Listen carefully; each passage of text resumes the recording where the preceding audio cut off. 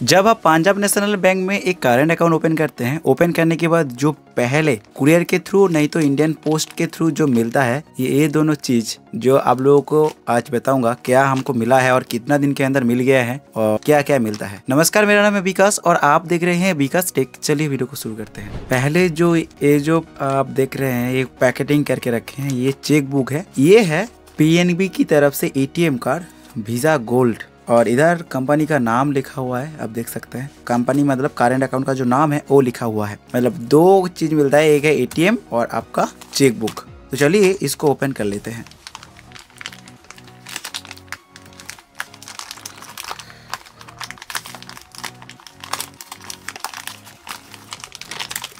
ATM apply करने के लिए अकाउंट में आपका 250 के आसपास एक चार्ज काटता है। तो अब आप समझ सकते हैं जो आपका एटीएम के लिए अप्लाई कर दिया गया है। बट चार्ज नहीं काटे हैं तो आपका एटीएम कार्ड अप्लाई नहीं हुआ है। मैंने अकाउंट ओपन करने का पंद्रह दिन के अंदर हमारे पास ये वाला जो दोनों प्रोडक्ट है मतलब दोनों जो बैंक का जो प्रोडक्ट है, ये हमारे पास आ चुका है। ये हमारा चेक बुक है पीएनबी की तरफ़ से।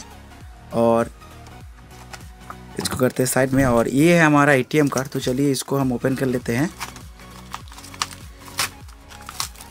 और अकाउंट ओपन करने के टाइम पे हमारे पास जो लिया गया था वन थाउज़ेंड रुपीज़ उसके से आपका बैलेंस जो कटेगा 250 के आसपास, तब आप समझ जाएँगे जो आपका एटीएम कार्ड के लिए ये अप्लाई कर दिया गया है।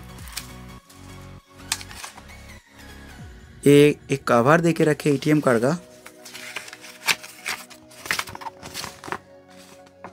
ये जो कार्ड है कार्ड के बारे में कुछ डिटेल्स बहुत बढ़िया तरीके से इधर लिखा हुआ है। आपको एक दिन लग जाएगा ये पढ़ने के लिए। और ये जो कागज़ देख रहे हैं, इसके अंदर रहते हैं आपका एटीएम कार्ड ये देख सकते हैं, ये है हमारा एटीएम कार्ड जो पीएनबी का लोगो है इधर। और इधर लिखा हुआ है गोल्ड इधर आपका नंबर लिखा हुआ है।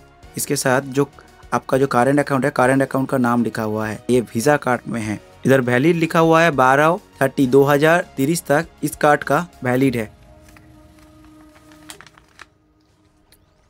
ये इस तरफ़ से चिपका हुआ रहते हैं कागज़ के साथ और मैं आपको बताऊँगा तो इस साइड में आपका सी रहते हैं। ये जो दोनों जो चीज़ है, ये दोनों बैंक की तरफ़ से हमको मिल गए हैं एक साथ में। और हमको जो ये मिला है इंडियन पोस्ट के थ्रू हमारा घर में आके दे के गए हैं। पंद्रह दिन के अंदर हमको ये मिल गया है। आप लोग करेंट अकाउंट खुले हैं तो ज़रूर आपका जो अकाउंट है अकाउंट के साथ ये मिलने वाले हैं। आप एटीएम कार्ड के लिए अप्लाई नहीं करते हैं तो आपको नया करके एटीएम कार्ड अप्लाई करना पड़ेगा। एटीएम कार्ड अप्लाई नहीं करेंगे तो आपका पीएनबी वन ठीक ठाक से रजिस्टर नहीं होगा। आधार कार्ड के थ्रू रजिस्टर हो जाते हैं पीएनबी वन बट काफ़ी सारा बार प्रॉब्लम हो जाते हैं। आपका एटीएम कार्ड से वो रजिस्टर करना पड़ता है। तो मैं आपको रिक्वेस्ट करूँगा, आप लोग एटीएम कार्ड अभी तक नहीं लिए हैं तो आप ले सकते हैं बट एटीएम कार्ड का भी चार्ज है, वो भी आप देख के आपका पॉसिबल हो तो आप ले लीजिएगा। उसके साथ चेक बुक तो आपको मिलेगा। वीडियो को अच्छा लगे तो लाइक कर दीजिए, दोस्तों से शेयर कर लीजिए। मिलेंगे अगले वीडियो में, तब तक के लिए अच्छा रहिए। नमस्ते।